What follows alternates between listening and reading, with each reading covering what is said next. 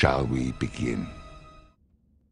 Hello and welcome to another World of Warcraft video. Today we'll be talking about the 13th anniversary event that kicked off on November 16th and runs through November 30th. As in previous years, simply logging in during the event will earn you the anniversary achievement and an anniversary gift. Inside the gift is a celebration package which, when clicked on, increases all experience and reputation gains by 13%, 200 time warped badges, and a slightly more urgent letter from the Time Walkers, which takes you to your quest giver, either Historian Llore or Historian Ju'pa.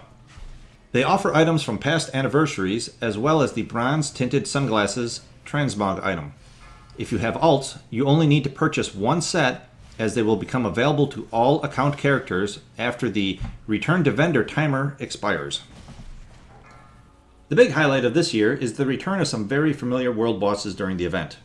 Level 60 and higher can pick up the daily quest, the originals, to hunt down Lord Kazzak of the Blasted Lands, Azuregos in Azshara, and the four dragons of Nightmare found in their giant portals, which are found in Ashenvale or Feralas of Kalimdor, and Duskwood or Hinterlands of the Eastern Kingdoms.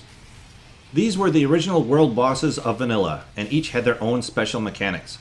Their return also brings back many unique transmog appearances that were removed with the Cataclysm.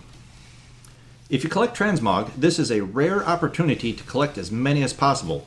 At level 110, all gear itself starts at item level 900, but can Warforge or even Titan Forge.